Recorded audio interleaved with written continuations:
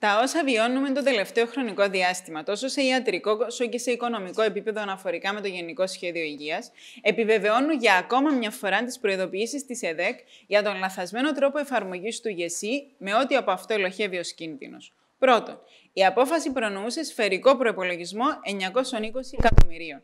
Το 2001 εγκρίθηκε ο προπολογισμό του ΑΗ ύψους 1 δις 267 εκατομμυρίων Δεύτερον, για μεγάλο χρονικό διάστημα, ακόμα και σήμερα, ο ΟΚΙΠΗ δεν χρεώνει τον ΟΑΗ υπηρεσίες που προσφέρει, με αποτέλεσμα να παρουσιάζει σημαντικά ελλείμματα, τα οποία καλείται ο φορολογούμενος πολίτης να καλύψει μέσα από τον κρατικό προπολογισμό.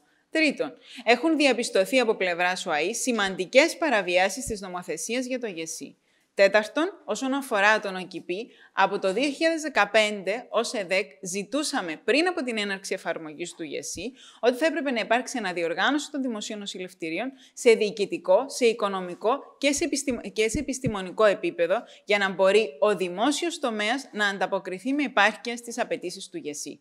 Από το Δεκέμβριο του 2017 που διορίστηκε το πρώτο Διοικητικό Συμβούλιο του ΟΚΙΠΗ, μέχρι στιγμής τίποτα ή σχεδόν τίποτα δεν έπραξε για να υλοποιηθούν οι πιο πάνω πυλώνες. Με προφανή τον κίνδυνο αδυναμίας του κράτους να συνεχίζει να καλύπτει τα ελλείμματα λόγω κανονισμού της Ευρωπαϊκής Ένωσης, αναπόφευκτα αυτό θα οδηγήσει είτε σε συρρήκνωση των προσφερόμενων υπηρεσιών υγείας προς τους πολίτες, είτε σε πιθανή ιδιωτικοποίηση του δημόσιου τομέα.